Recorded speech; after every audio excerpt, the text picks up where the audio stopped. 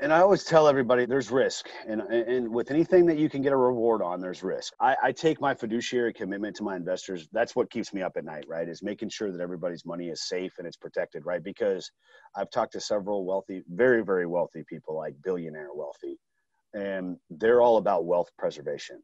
They said, "Kid, I don't even want to talk about return on my investment until you can talk to me about the return of my investment." Right? They they would love to make money don't get me wrong, but they've already made money.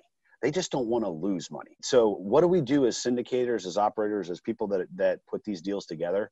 We're trying to mitigate risk. So how do we mitigate risk, right? We do that several different ways, right? We buy right, which is probably one of the biggest things that you can do. You buy the right deal in the right submarket that has job and population growth. That's probably the best way to mitigate risk. Hey there, I hope you enjoyed the video. If you did, please click subscribe down below and give me a thumbs up. You can reach out to me on Instagram or Facebook at Oliver Fernandez 3.